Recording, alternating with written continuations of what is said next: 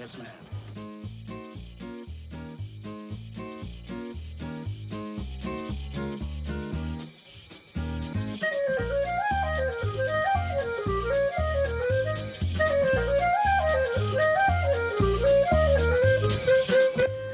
It is December 21st, 2020, and you are listening to the Candid Clarinetist Holiday Special on the Candid Clarinetist podcast.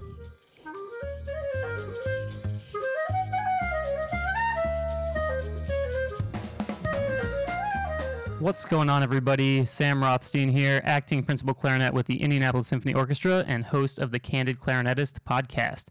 Thank you for all of the tremendous support that you have given the podcast since its inception in June. I'm looking forward to continuing this series into the new year new year with more fantastic guests and interesting topics.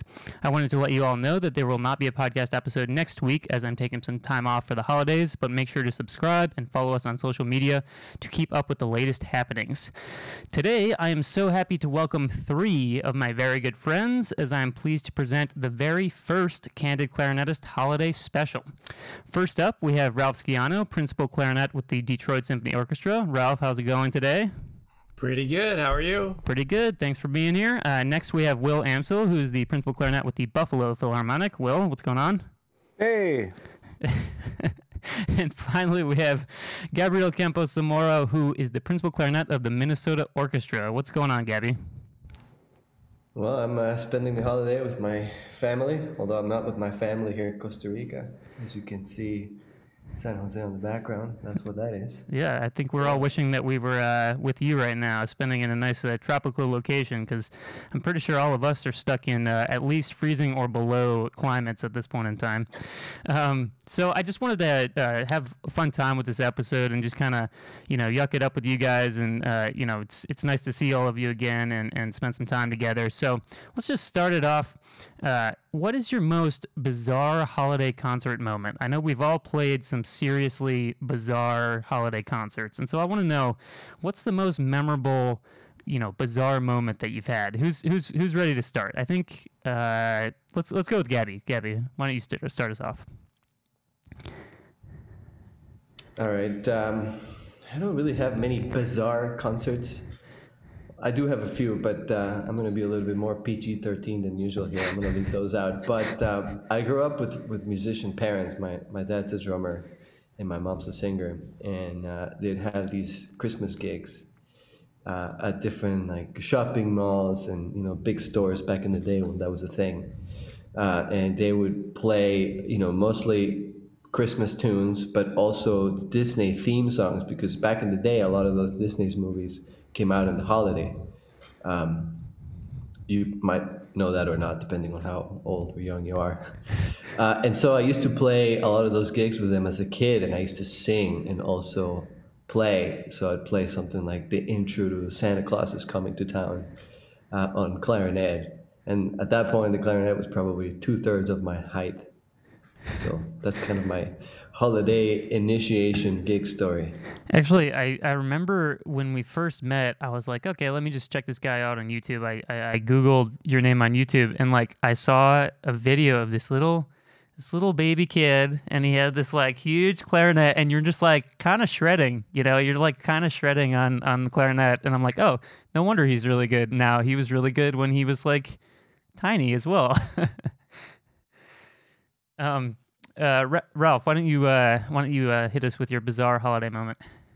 I don't. I mean, I don't have like real bizarre holiday moments. I always really liked when the uh, when the holiday concert season comes around, like the mixture of Nutcracker and all of the Christmas Pops concerts. But the, I have like one very memorable Christmas Pops concert where, um, you know how like a lot of times when we rehearse these Pops concerts, you, you don't really run through everything. Like they just assume everybody knows everything, and you get like you know maybe a 30 minute sort of sound check.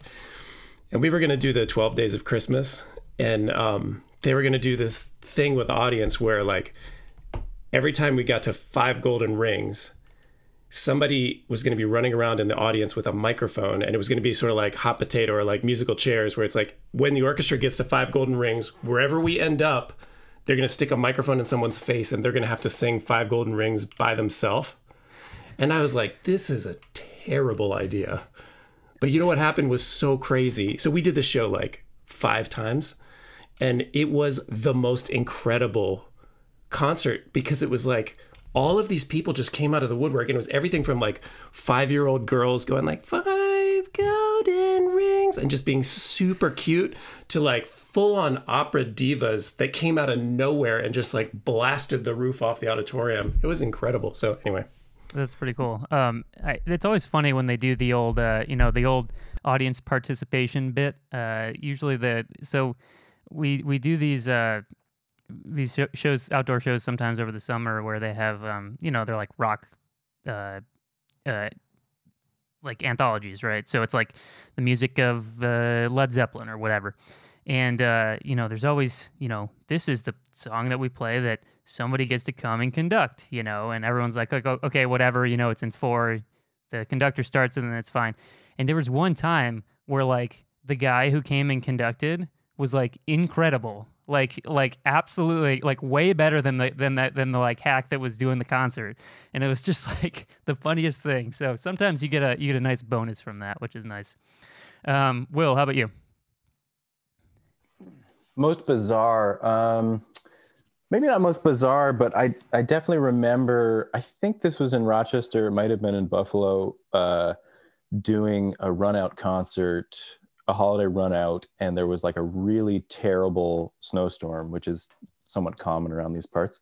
Um, and it was like a i think it was a judgment call as to whether we are going to cancel the show and like the management just said let's just do it like it was a you know typically for a holiday run out like it's just it's a group or like a you know a school or a church or whatever that's just paid for the concert. Mm-hmm. so they're like let's just go you know the roads are open. And so we went and i think there were like you know under 10 people in the audience like because no one showed up because there was a you know snowstorm. But um yeah bizarre. I can't really i can't really remember like anything too bizarre but um i'm sure i'm sure there's uh more more to uh to delve into with holiday concerts especially with like nutcrackers and stuff. Yeah absolutely. And i, I think you know, to, to, share oh go ahead gabby sorry. No, I, I was just going to say I, I actually thought of a bizarre maybe not bizarre but definitely unfortunate christmas concert um, story. I i had just started a few months before as bass clarinet in kansas city. That was my first job there in that symphony. And we were doing a christmas gig uh, that for some reason I can't remember what they were playing on, but it had a saxophone player involved. And I showed up to the gig, to the concert, uh, and I opened my bass clarinet case only to realize that I had not brought my bass clarinet reeds. Um, and of course, I had just gotten there and I was a little bit nervous about getting tenure. For those of you that don't know, there's a, a period uh, in which you have to earn your tenure, and you know, not showing up with reeds is definitely something that might hold you back from getting your tenure. So I ended up playing that gig, that Christmas concert with sax reeds on the bass clarinet. It, so, as long as they're tenor reeds, they actually work though. Right, right. So ever since then, I keep an array of reeds in my locker, no matter what, and a mouthpiece too, just in case I forget stuff yeah. like that and you're not the only one who's done that. In fact, the one of the first times I, I think it was the second time I played with the Chicago Symphony, I was playing with Lawrie, and literally he walked. I was warming up, whatever. He walked on stage, and I said, "Oh, Lawrie, how's it going? Nice to see you." He's like, "I'm doing well. You know, I'd be I'd be doing even better if you had a bass clarinet mouthpiece I could borrow." this is like five minutes before the you know the downbeat and whatnot. So it's uh, you know it's it's always an adventure. Uh, you got to be prepared for anything. And uh, I think my bizarre moment was it was it was kind of like Will's. There's in in Richmond, I, and I loved my time there. But Ralph can attest to this that there were there are there were concerts that we did that were uh, below average in terms of logistics. Uh, just like and and there was one that we did. It was like right before we did our Nutcracker run. I think it was like right after Thanksgiving, and it was some it was in some like civic center like tiny auditorium with like terrible soloists that were clearly like local talents of some sort and like just it was the most bizarre thing because like they didn't they literally didn't even know like how to rehearse a piece of music like they didn't know like what measures were and instead it was the string and and like you know the orchestra was very good and we were very like uh, proactive and studious, and we wanted to like sound really good. But there just came a point in that rehearsal that everyone was just like, "What is going on? Like, what? You know, you just have these like crazy people up there that you know probably under the influence of something, you know, soloing with like this professional orchestra, and you're just like, what is going on? So, um, yeah, there's definitely uh, if for those of you who don't have uh, professional careers yet, you'll you'll have some experiences that's for sure uh, as you go through your careers and there'll be some concerts that are different definitely memorable probably from the, for the wrong reasons but they make for good stories so that's always a good thing um, so i want to go around the horn here and ask you guys how many nutcrackers have you played total in your life I'll, I'll start because I actually haven't played that many. I would say I did two seasons in Richmond, and that's like 17 each. So, uh, whatever that is, 34. And then there, there was like a couple more after that. So I think I'm below 40 in terms of like full nutcrackers, which is pretty pretty good, I think. So, um, who wants to go? Ralph, you want to go? Yeah, I haven't played. I honestly haven't played the Nutcracker since I left Richmond. But I mean, we played it probably 13 or 14 times a year, and I was there for 13 years. So I figure somewhere between 175 and 200. Yeah, that's a good one. Gabby or Will? Um, who, Will, you want to go? No, no, go. I. I was going to ask the price. Uh, whoever plays the most nutcrackers. So far, I think I might win on Desi numbers per and I actually haven't played them that many times either. I did play them, I'm going to guess them maybe 25, 26 times a year in Kansas City. Mm-hmm. And my second year, I did most of them, if I remember correctly. So something like that. But then you always end up playing, even if you don't play the full cracker, and I'm sure you guys have done this a ton, you end up playing the suite with you know the greatest hits put together, or maybe you just play the the Waltz of the Flowers at a Christmas show or something like that. So I've done that forever since I was. Yeah, and I think that uh, you know, like for example, we do Yuletide every year. It's a big show. We had Jack Jack Everly on a couple weeks ago, and uh, you know, there's always selections from the Nutcracker in there, whether they're jazzed up or you know, like you said, Waltz of the Flowers or whatever. So in terms of that, I'm definitely you know in the triple digits. But full actual Nutcrackers, I think right now Ralph's in the lead. Will, can you can you best him? No, I don't think I don't think I can best uh, 100. What do you say? 175? Jeez. Um, I think yeah, I think I'm pushing 50, but definitely not in Ralph's territory right now. Do you guys do them uh, as a regular thing in Buffalo or was or Rochester? Uh, in Buffalo, we do we only do two. Uh, it's like it's actually a pretty light week um, compared to where I used to play in Rochester, where I think they do maybe six or maybe even seven now. I'm not sure, um, but yeah, we just do like it's like a split orchestra week with uh, Nutcracker and Messiah on like Thanksgiving always. Oh, nice. Yeah. Um, you know, obviously not this year, but um, yeah. Yeah. And Messiah Week's always great, especially if it's not a oh, split week, because the best, my favorite, my favorite piece yeah, during the holidays. There's no yeah. clarinets, so yeah. For those who didn't understand that reference, um, but so what do you guys like the most about the Nutcracker? Because I think it's actually one of the pieces that you know we play the most as professionals, but is generally well liked. I would say. Um, it's cha- it's fairly challenging, but uh, the music's kind of great. You know, it's it's rewarding. So, what is your what is your favorite moment in the Nutcracker? And this could be either like you know a staging that you've seen, or just a musical moment. It could be a specific moment. So, uh, Will, you want to uh, go? I'll take it. Yeah. Um, I think honestly, just like the whole first act of the Nutcracker, I just, I like, no matter how many times I play it, I love playing it. I mean, it has great clarinet parts for one, um, but just like the whole thing, it's just, I think it might even be my favorite Tchaikovsky. Just like it's like through composed. It's, uh, it's just like it just makes sense the whole thing it's not that long and it just works and i you know wherever i'm in a pit i can almost never see what's going on. And so I'm just listening or playing. Um, and I think it's great. I love the first act. The second act is is great too, like you know, for its own uh, you know, for its own reason. Like it's you know, it's got all the all the solos on stage and stuff. But um, you know, the first act for me is just like I could play that. Um, you know, I, I don't get tired of doing that. Yeah. First act's also I think a little easier endurance was. At least for me. Um, I don't know. I think there's more meaty clarinet stuff really in the first act. I mean, I think Mhm. like the um what is it? Like the the second is that like the second big number with the sort of like uh with the big clarinet solo that comes in. I think that's just great. I mean, it's like Yeah. it's really fun. And then you're just playing the whole time. So I I don't, yeah, I mean, it, you're playing a bunch both, you know, both halves, but I I totally dig the first act. Yeah. Uh, which one of you guys wants wants to go next? I I like the uh, I like the Arabian dance. That's my favorite. Oh, that's an interesting choice. Yeah, I don't know why. It's just like every time we would get to that dance, I would be like, "Oh yeah, ready for this? Let's do it."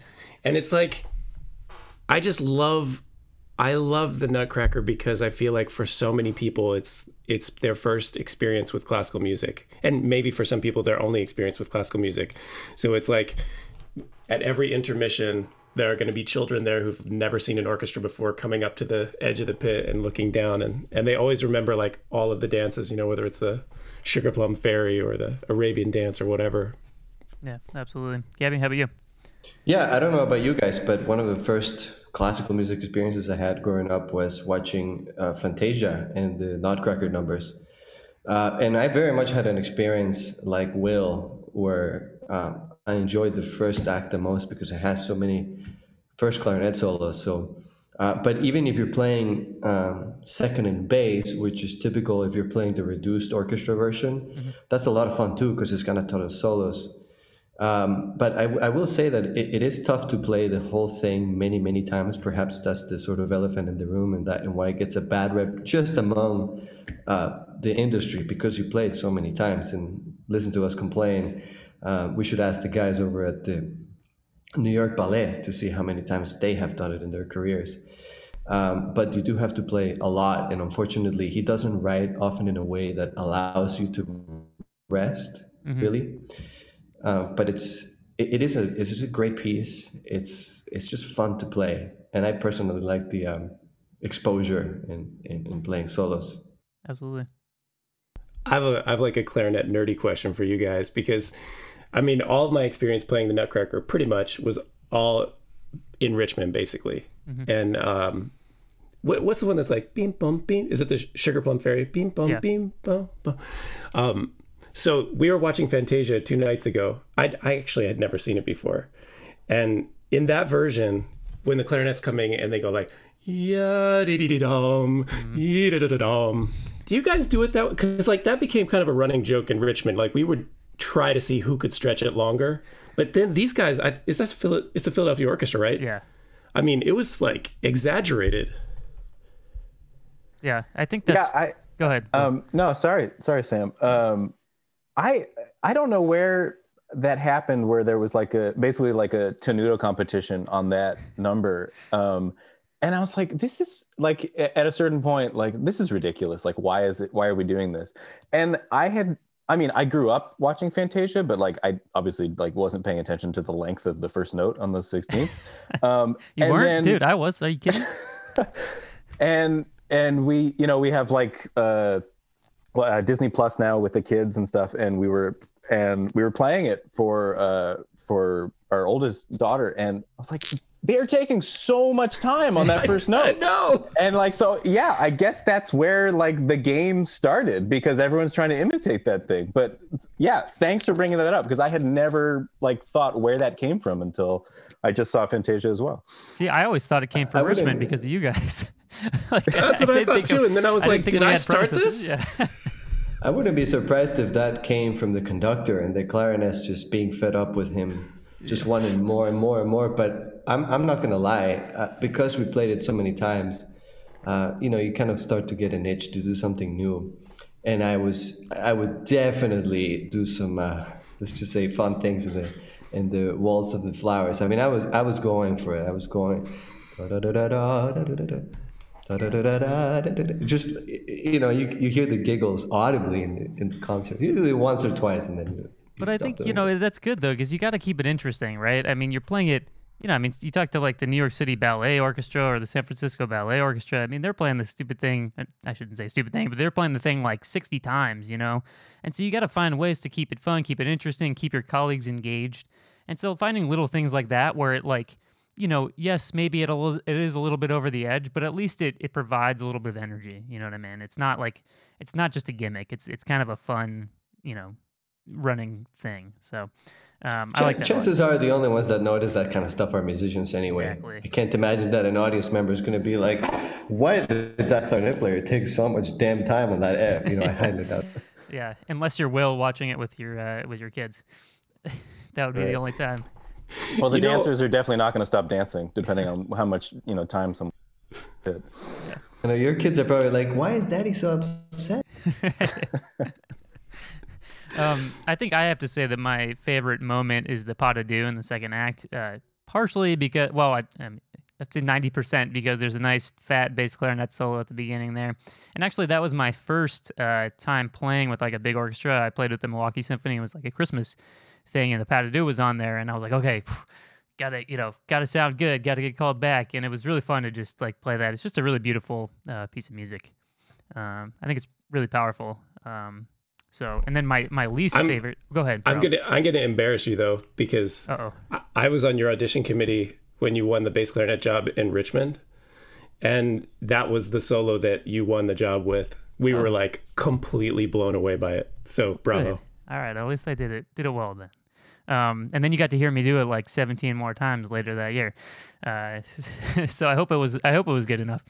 Um, but I, I got to say, my least favorite part of the Nutcracker is the final waltz, depending depending on how slow it is.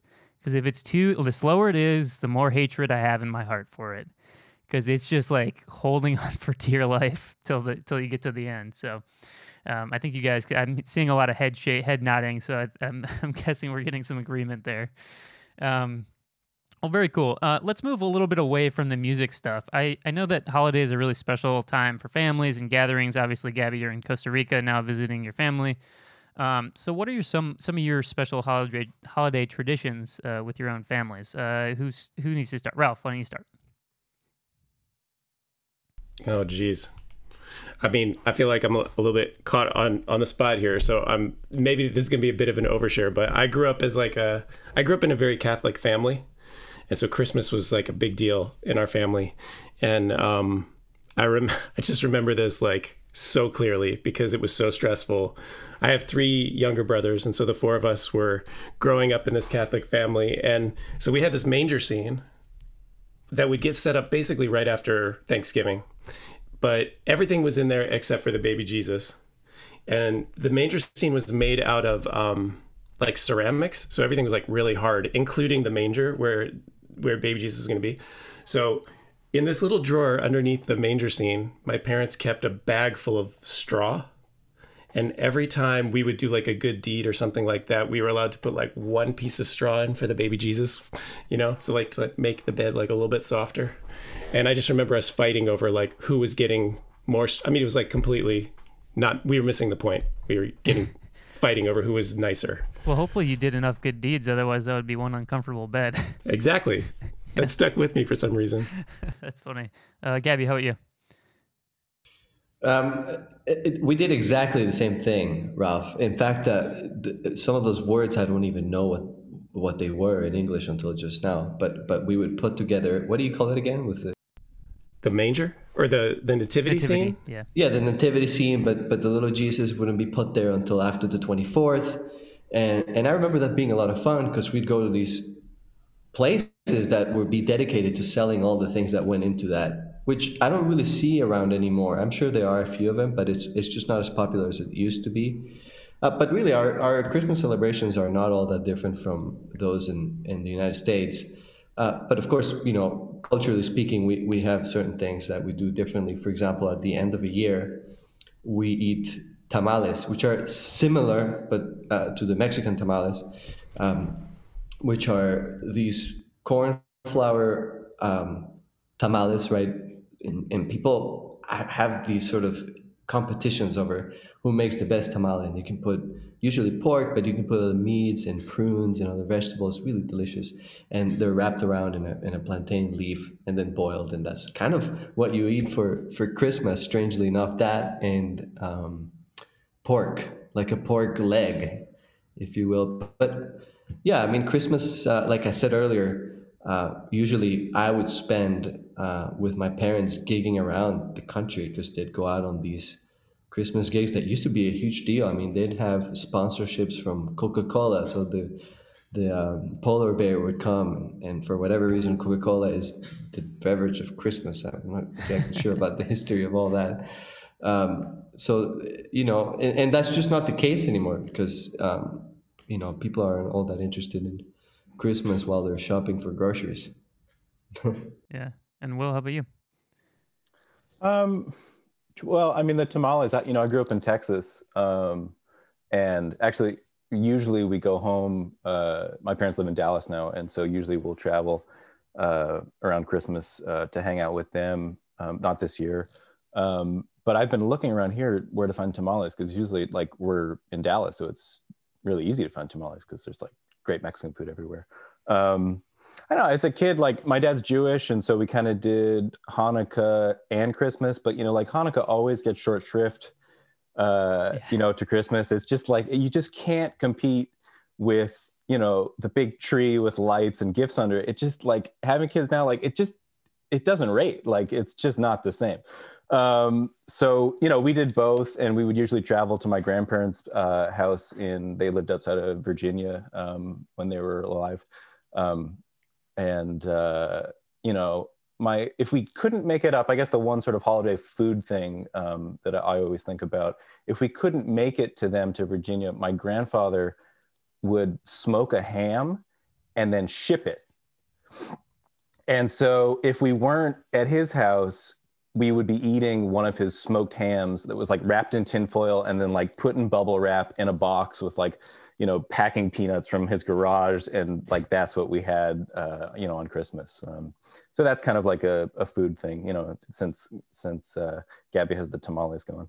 Yeah that sounds amazing actually. Um, I, I think for me i mean there's a number of traditions and obviously it's kind of changed over the years obviously. Uh, you know you get married and traditions change and uh, your thoughts change and whatnot. But uh, one thing I always enjoyed uh, was we would uh, on Christmas Day when I was going back after college to visit my hometown and visit my mom and dad. Uh, all my friends from high school would kind of get together on Christmas night uh, after we did our family things, and we'd just like hang out at the local dive bar.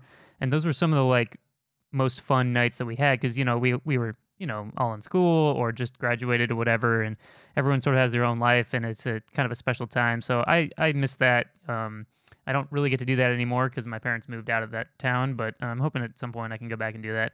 And then one hey, thing wasn't I around? Wasn't I around? You were. You did. You yeah yeah. You spent uh, one Christmas with us. Yeah, it was fun. It was really fun.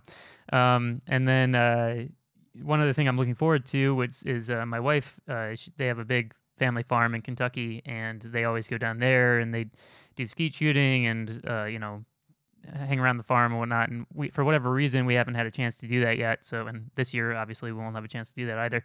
So, I'm looking forward to that becoming a new tradition uh, as well for me. So, uh, I know that Gabby and Will spoke upon their uh, holiday uh, food preferences. Uh, Ralph, what is your what is your usual typical holiday meal? You know, like, food wasn't like a big part of my family growing up and so it's fun because now we're like starting those traditions and with my wife and her family because they're all here in Michigan. Um, so we steer clear of turkey because nobody seems to like turkey in my family, and we always do like some sort of roast beast or roast beast. Roast beast. What am I, Cindy Lou Who? yeah. Roast roast beef or uh, or like steak usually, but it's been fun like coming up with the recipes that the family you know really gathers around yeah i think that's one of the most fun things about like getting a new family i mean not a new family but adding on to your family is you get you get a chance to like sort of create your own traditions you know? Like my wife and i, I you know we did hanukkah in my house as well growing up but it was never a big thing. Um, and she was like if I'm going to be married to you and we're going to have kids and their last name is going to be Rothstein, we're going to do Hanukkah, you know? And so we've, we've done this thing every year where we've made latkes on like the first night of Hanukkah. And well, she's pretty much made them. I've, I've helped. I'm, I'm not going to give myself any credit for making them.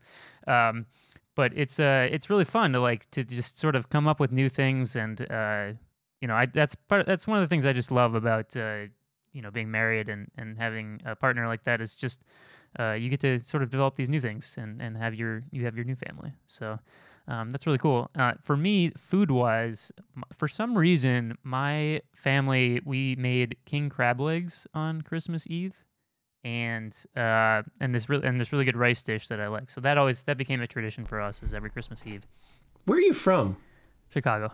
Chicago. Okay, is that like a Midwest thing? Because I was at Costco the other day and they they're just selling tons of crab legs, and I was like, should this be a tradition? Because that looks. I good. mean, it's really good. I recommend it, but um, I don't know if it's a Midwest thing. And I, honestly, like, I don't know. I think like my mom would make something different, and then for some reason we just like settled on that, and every year we do that.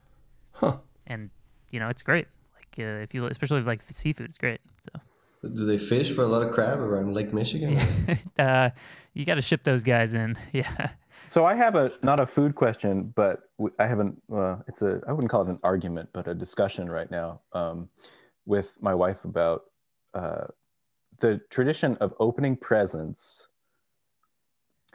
on either Christmas Eve or Christmas Day. And I grew up, we would open maybe like one thing Christmas Eve, and then like the big haul and and stockings and all the rest of it Christmas Day. She grew up like I think almost everything Christmas Eve and maybe like one little thing Christmas Day. And so I wanted to see what y'all did or do.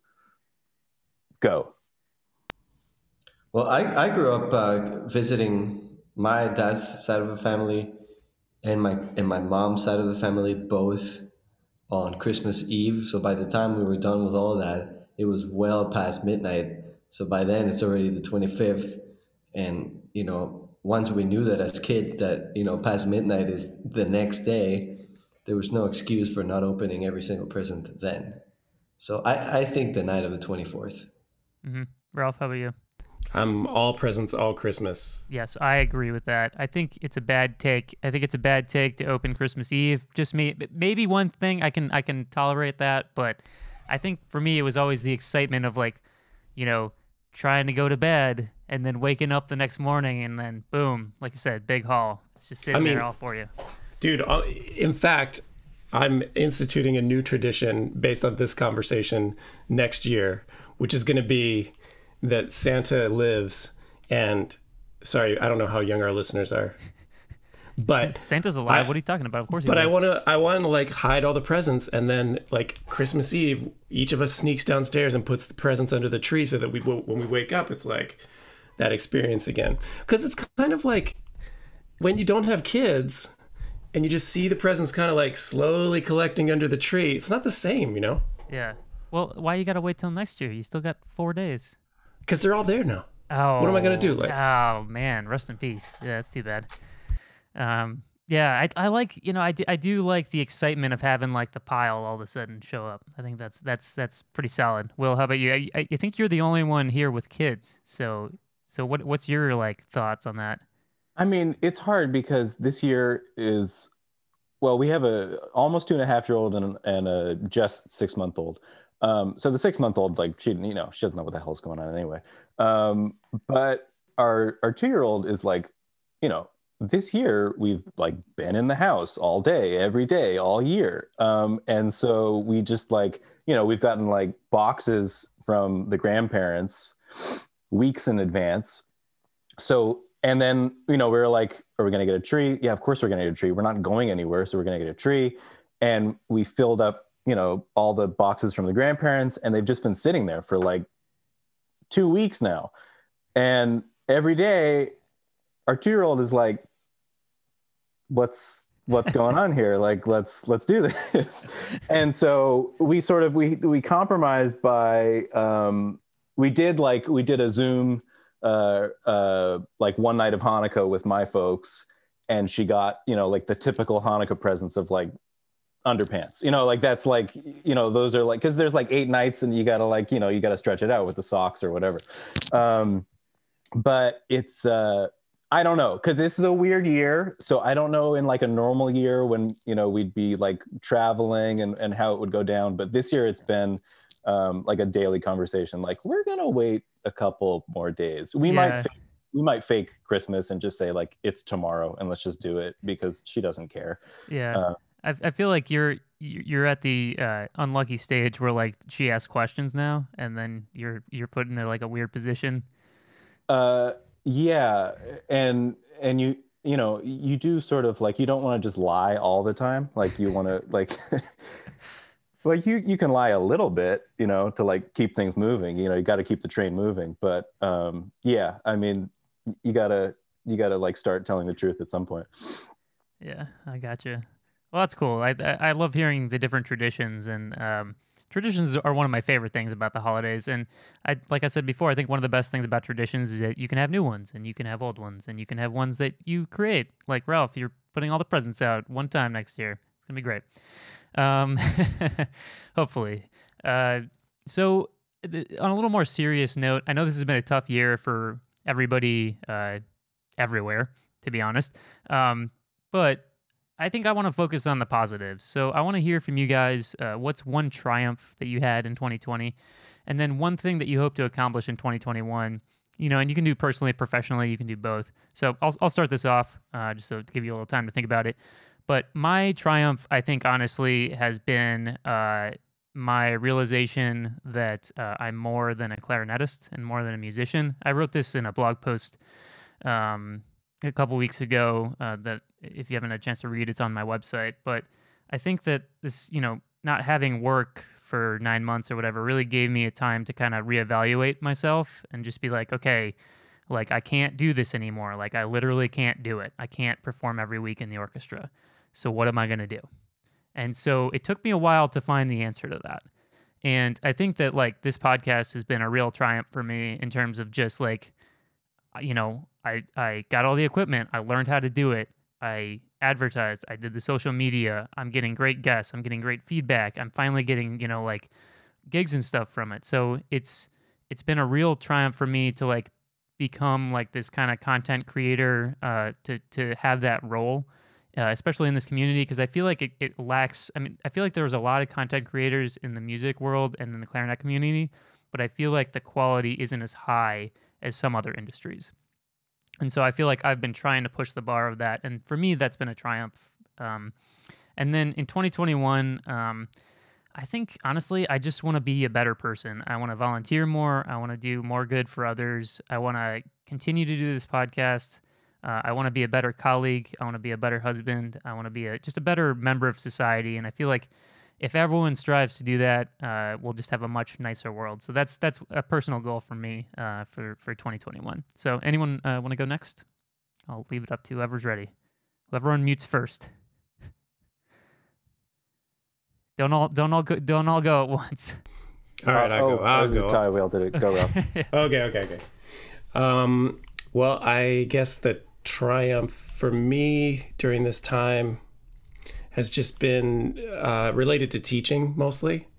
Feeling like uh, I was able to kind of pull together some resources and publish some things that are really helping some of my students, and to you know, I, I've I've really enjoyed some of the digital opportunities that this time has has sort of allowed us to meet people that we wouldn't meet otherwise. And um, there was a there was a moment when I thought maybe none of it was going to work, and um, I think the triumph for me was realizing that, you know, if you think a little bit differently and and try things differently, that some people who you couldn't reach before, you can actually reach now in this way, and you can create things that probably you never would have created before. So, so that's been fun.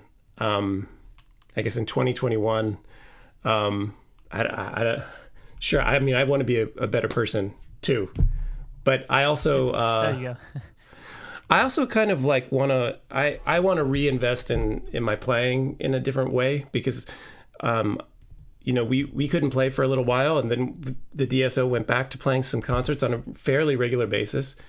And um and then I broke my finger. And so I've been out of commission for weeks now. And so I won't get to play again until the middle of January maybe the end of January. And and just having this sort of taken away from me and given back to me and taken away from me has really made me realize I think when I was in the middle of it I was like I'm not sure if I really love this. I don't know. Like I was getting kind of sad and you know but having it taken away has really sort of cemented the fact that I really do love it and that I really do want it. And and so I'm I'm excited to kind of like re-engage with it in 2021. Yeah, and I think that's a really good point. Um, and I've had this conversation, man, with a lot of people. Will, you and I were talking about this the other day when we were when we were visiting. Was the fact that it was simply taken away, and it, and there was no opportunity. It's not just like you know, my orchestra folded and I can go gig somewhere else. Like literally nobody could do it. Made me realize the value of it. Cause I was always kind of like, oh, you know, um, people are like, music is so important. I'm like, yeah, sure you know, I, I was never like, oh, yeah, it's this great cultural thing that we need. But having it taken away completely, not by choice, um, was very revealing to me. And I think it made me realize that everybody's jobs are important. You know, like the thing I hated the most is people like, get a real job now. It's like, well, what what defines a real job? You know what I mean? Like, what is a real job? Everybody has a real job. And just because you're, you know, a doctor saving someone's life, obviously that's incredibly important. But so is making music, so is working at the Amazon factory, so is, you know, being a teacher. Like these are all important jobs for a functioning society. And I think that, uh, you know, definitely having it taken away from me, and it sounds like from you, that it, it's really given us all a little bit of perspective and made us want to come back even better. Yeah. And just to piggyback on that, I mean, the opportunity for for patrons, supporters, like clarinet lovers in the, in in our community to sort of like come and visit me in my studio in this sort of more intimate way. And for me to be able to like make music to people in a way that actually means something to them. Like if they say that this is the kind of music I love and I try to put together some sort of video or recording or something like that that taps into something that I never had growing up because I don't come from a musical family. I didn't grow up with this you know? And so when I get to see face to face people like what it means to people that's I think part of what helped me kind of come back blah blah blah. Yeah, absolutely. That's awesome, man. Uh, really, really proud of. I mean, I'm proud of all you guys. I mean, it's just been, it's been tough, and I and I think that uh, you know, just just having the resiliency to know to to know that you are, are valued in society, and you can we can still do this at a high level, and we're all looking forward to like. I think it's it also has given us a different perspective. Like, oh wow, like the possibilities are endless for what we do. You know, it's really forced us to do that. So that's really great. Um, uh, Will, you want to fire it up? Well, I mean, I was just you know thinking about um, you know just you like starting this this project, um, and you know I I wasn't surprised that you would do something like this, but it's just really cool. Um, you know, and I you know just want to congratulate you on that, and I think it's great, and you know I'm a fan. Like I, I, I don't listen to every episode, but like well, I listen to. Why don't you listen to every episode? You know, again, it's like the it's the waking up at 5:30 sometimes and going to sleep at whenever. You know, again. I'm just, I'm um, just kidding. um, but like you know, I I, I never would have listened to, um, or I never would have had a chance to like talk to your teacher. You know, but I feel like you're like your first episode I was like, oh, I, I like know a little bit about that person now, and you know, and I, I you know I've listened to a bunch more episodes, and but that's just one. I was like, wow, that's that's really cool that um you know that you put that out there. I think that's really great. Um, Thanks, man. Appreciate it. Yeah, no, seriously.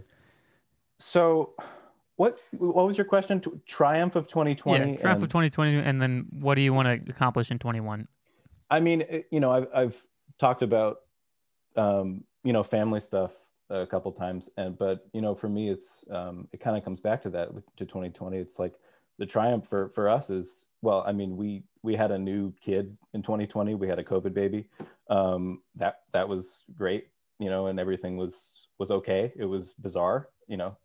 You were talking about um, bizarre holiday concerts. That was the that was kind of a bizarre birth. You know you go in yeah. and and uh, at that point it was um, our daughter was born in june. Um, so it wasn't like right when everything started. So they had sort of figured out how to do stuff but i was you know talking to uh, a friend the other day and they had um, they had a kid in march i think like right at the end of march. So it was like right at the beginning of no one really knew what the hell was going on. Um, and you know it was at that point when you know just uh, you know no spouses no partners were allowed in the room and that sort of stuff so um, you know personally for me that was a huge triumph you know for for our family and that we've you know we've been healthy that's been a huge a huge triumph and that we haven't uh, um, killed each other being in being in the house all the time together. that's that's a huge drive.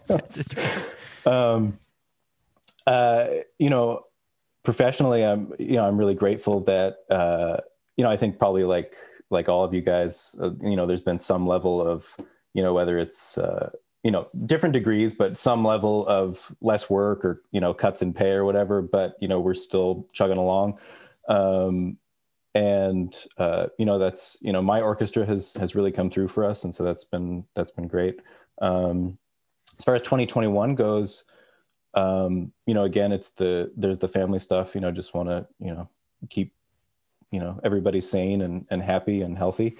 Um, and and music clarinet goals um, i think a little bit like what what you and ralph were talking about. Um, you know i've had to i've had to go back and and play. We've done probably like everybody else like you know a streaming series for subscribers and stuff like that. Um, you know but it's not playing every week. And it's been some you know like we did beethoven septet a few weeks ago and then you know there'll be like three weeks where i don't go into work and play so it's kind of like it's this strange time where like I, you know, uh, I don't play for three weeks and then I have to play like this big chamber music piece for orchestra. It's just like a very, it's a strange time. Um, but, you know, I think what it, um, what it does is it, I, you know, I just often I'm thinking about like, man, I really can't wait until, you know, we can all get back and like play big pieces with the orchestra. Like, and you know, what's really cool about that is in, in sort of pre-COVID times, while you're doing it, um, you know, you're exhausted and you're stressed out and you're like trying to sound good and you don't think about that. But it's been nice to think, I really do like doing that. And when we get to do that again, that's going to be cool. Um, so that's been that's been really fun to think about. So I'm sort of looking forward to that um, for next year, or you know, hopefully next year. You know, maybe fall that might that might happen. You don't know. Yeah, absolutely. And on that note, I mean, I, I think we can all be thankful of the, for the scientific community. Uh, and for the uh, medical community for kind of leading the charge here uh, recently with everything. My brother just got vaccinated a couple days ago, which is pretty cool. Uh, he's a he's a doctor, um, and I've seen so many photos of people getting vaccinated. So that's it's, it's really exciting that uh, you know we're we're not rounding the corner yet, but you know, at least we're we're getting some reinforcements. So uh, I'm hoping, I'm, I'm optimistic, and I'm hoping that you know things can start getting back to normal, and that this horrific uh, thing will end sooner rather than later, so we can stop losing so many precious lives that we've that we've lost. So um, thanks for sharing that, Will. Gabi, you wanna you wanna jump in on this one? Yeah, um, I'm gonna try not to be redundant because a lot of the things that uh, I was uh, thinking about sharing, you guys have already covered, namely um, the sort of uh, self uh, discovery or criticism, if you will, uh, with respect to our careers, but also uh, with respect to who we are as people and how we carry ourselves.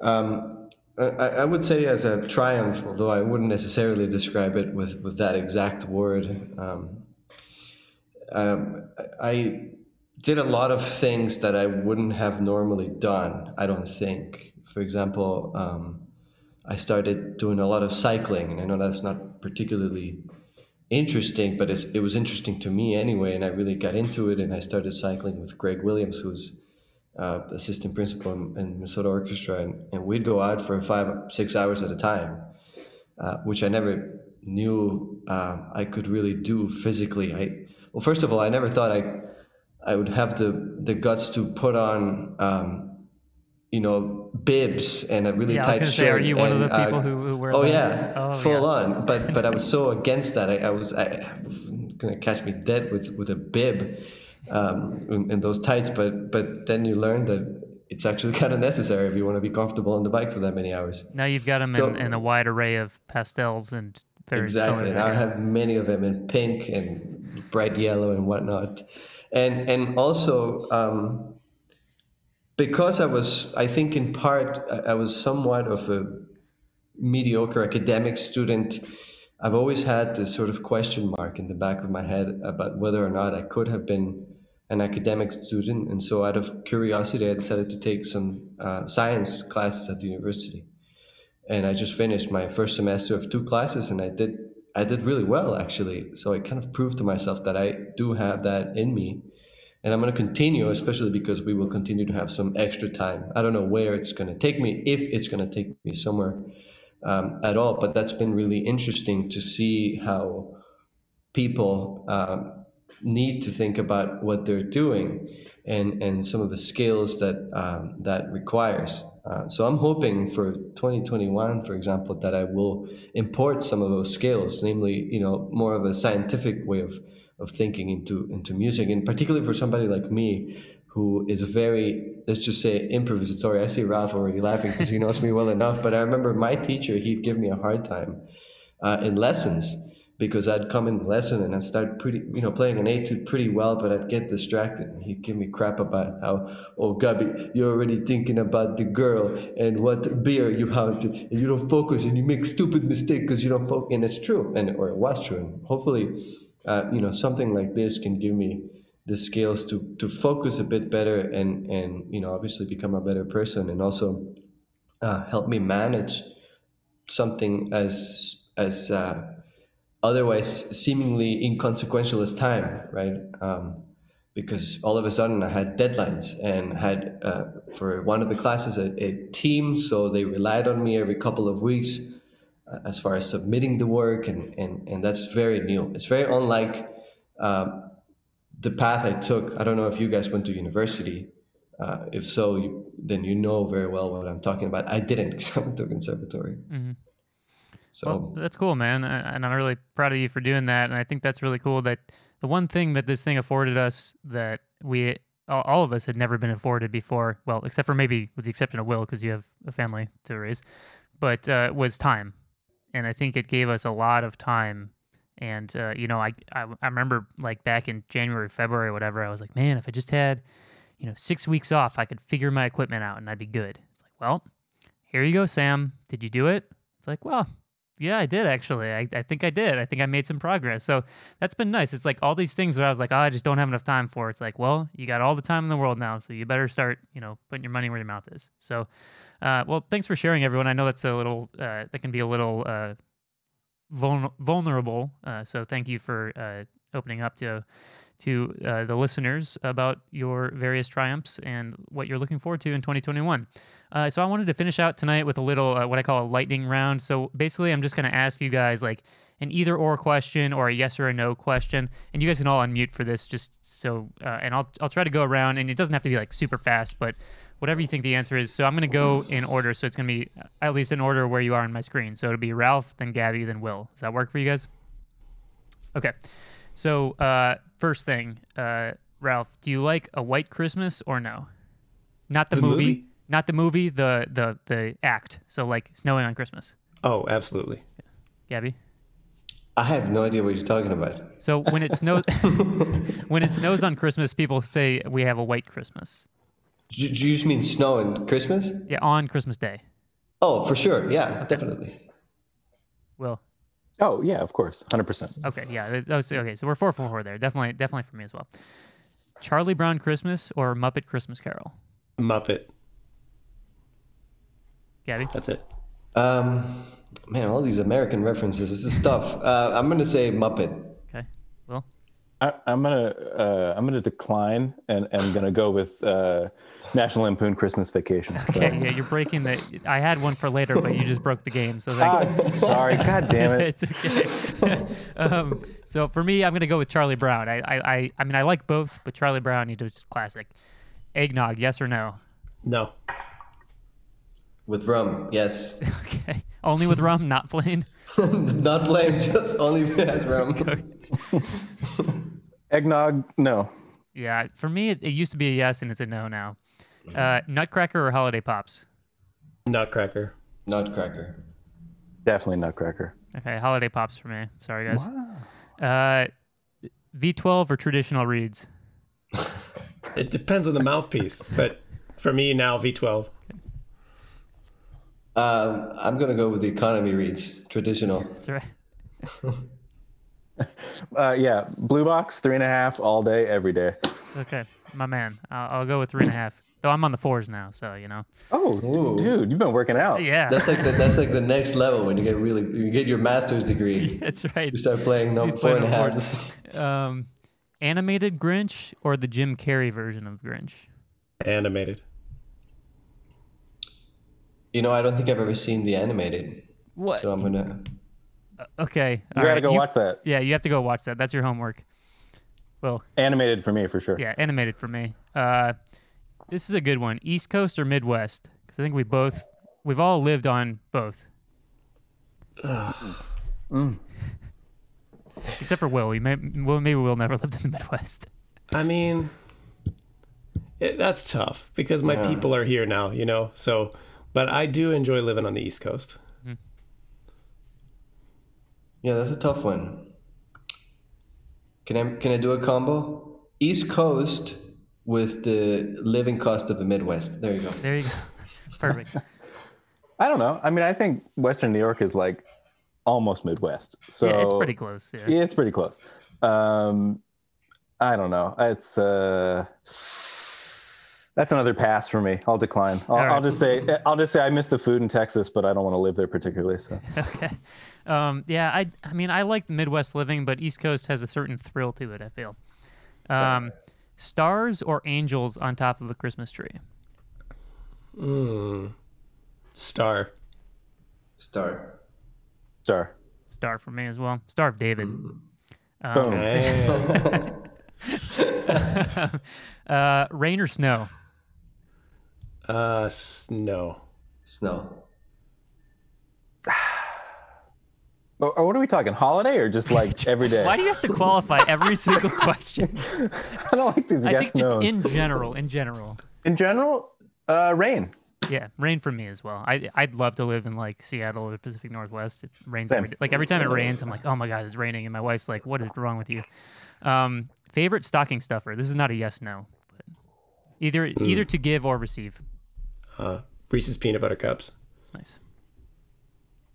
Uh, well, I never had that growing up, but and also I could answer this uh, Will style, get all philosophical. Well, it depends on what you mean by a stocking.